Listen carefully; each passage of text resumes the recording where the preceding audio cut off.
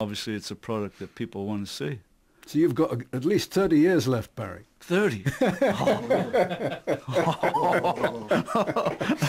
I can't say that, but you know what? I'll be back when I'm 80, all right? Will you have us? Will you still be here? Oh, I don't know about that. anyway, let's. You're going to do a couple of songs tonight. So what's what's the first one? Uh, we'll do Substitute, and, uh, well, let's just get on with it. Okay, the Wholigans live uh, on the show tonight. Substitute.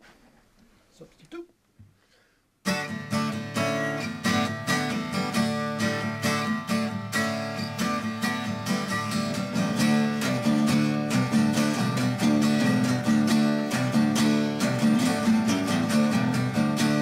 think we look pretty good together. You think my shoes are made of leather. But I'm a substitute for another guy. I look pretty tall, but my heels are high.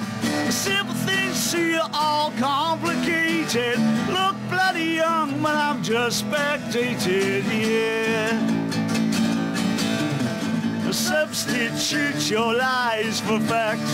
I see right through your plastic mac. I look all white, but my dad was black. Fine looking suits really made out of sack. I was born with a plastic spoon in my mouth. The north side of my town faced east and the eastwards faces south. A night there to look me in the eye. Those crocodile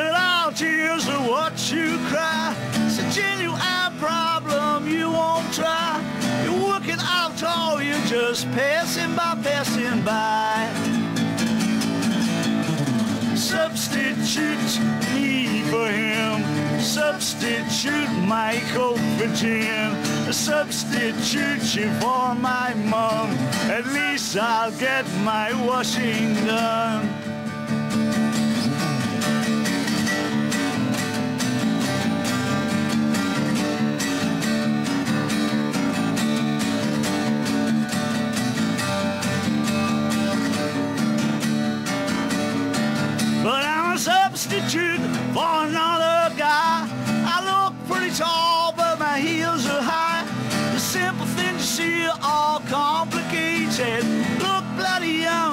Just spectated, yeah.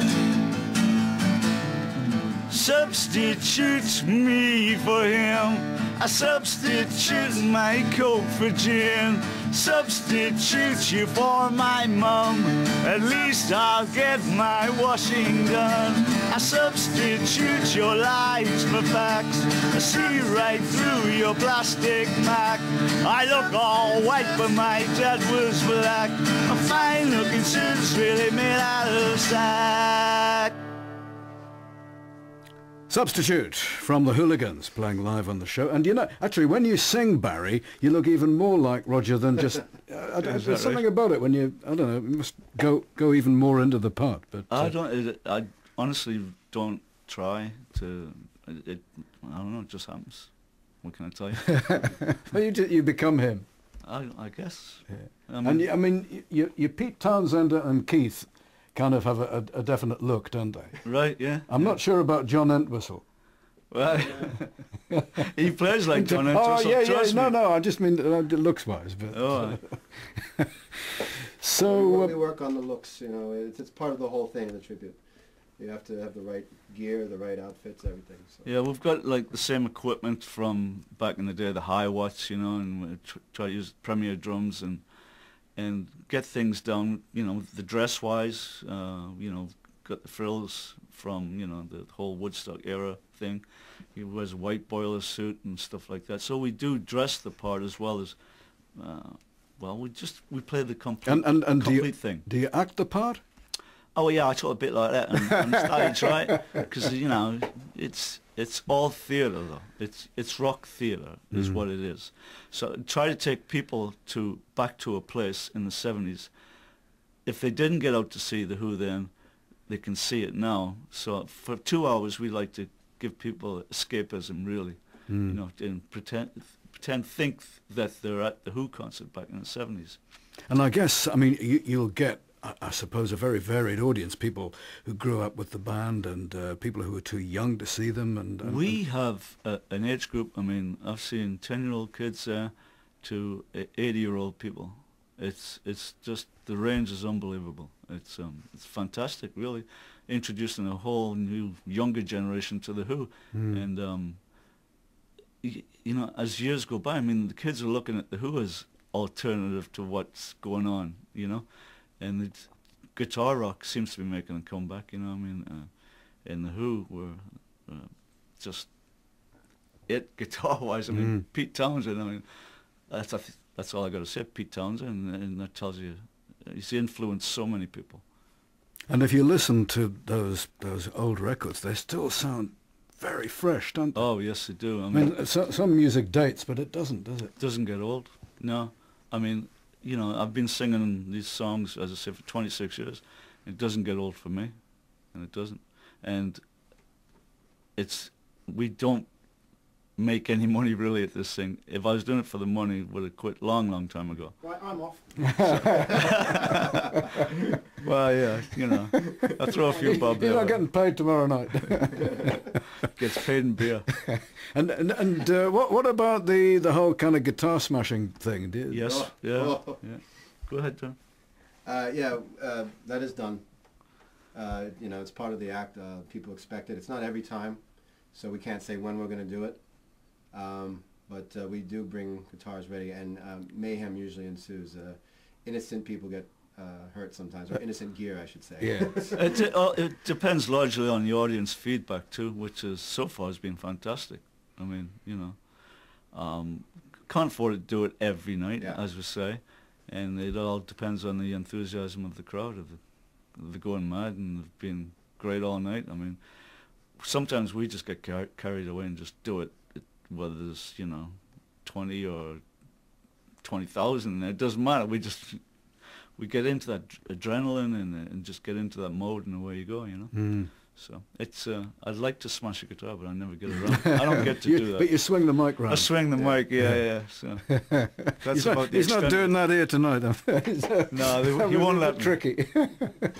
Knock the DJ out with the mic. That'd be fun, wouldn't it? Right. Um, what, what, do you live the lifestyle afterwards then? Too old for that. Man. Come on. well, we used we used what, to. What about this Keith Moon man? We used to. I'm quiet and talk about smashing. No, he, he can get out of hand. Trust me. No, but uh, you know, I mean, we don't carry it that far to the extent. I mean, if we had their money, we might. But uh, no. He, he was an amazing character, Keith Moon, wasn't he? A He few was. pranks.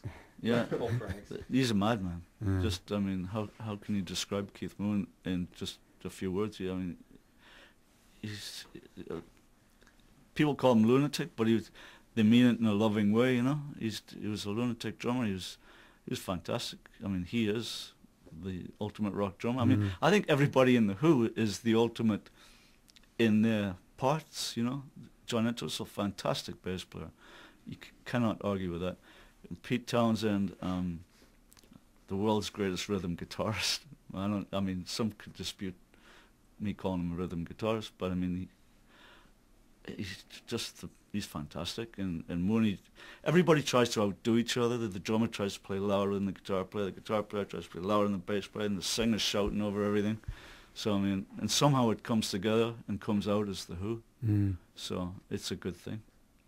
Yeah. I remember uh, a number of years ago interviewing the Bootleg Beatles, who are probably the the Right, Beatle tribute them. band, so- and they're, they're they're really good. I mean, they're, they're, actually, I think they've been around about the same sort of Is time as right? you. You know, it was Yeah. early '80s, um, but they they played a gig um, quite a long time ago now.